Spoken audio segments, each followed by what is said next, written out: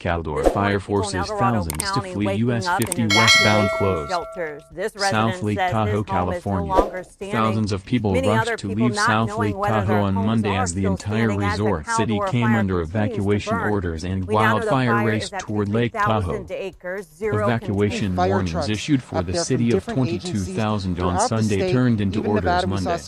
Vehicles loaded with bikes and camping gear and hauling boats were stuck in traffic, stalled in hazy, brown brown air that smelled of campfire. Police and other emergency vehicles whizzed by.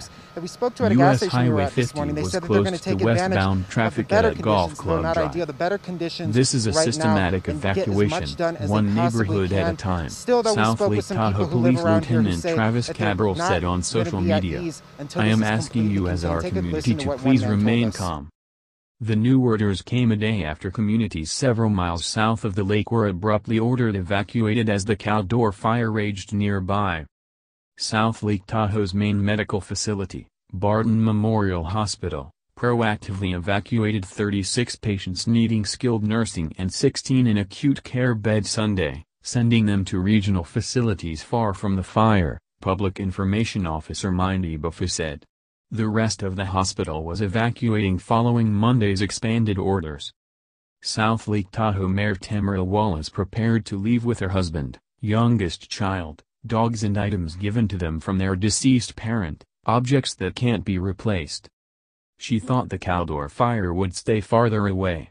Fires in the past did not spread so rapidly near the tourist city. It's just yet another example of how wildfires have changed over the years, she said. It's just a culmination of 14 to 18 more years of dead trees, the droughts we've had since then, those kinds of things. The region faces a warning from the National Weather Service about critical fire weather Monday and Tuesday.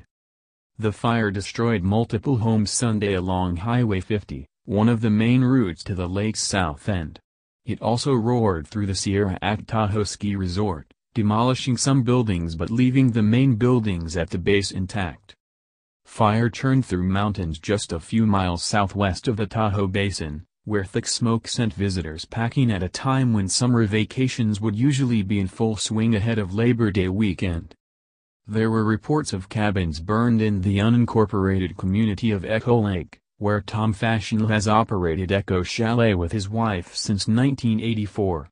The summer-only resort offers cabin rentals, but was ordered to close early for the season by the U.S. Forest Service due to ongoing wildfires. Faschingle said he was glued to the local TV news. We're watching to see whether the building survives, he said. The last major blaze in the area took South Lake Tahoe by surprise after blowing up from an illegal campfire in the summer of 2007. The Angora fire burned less than 5 square miles but destroyed 254 homes, injured 3 people and forced 2,000 people to flee.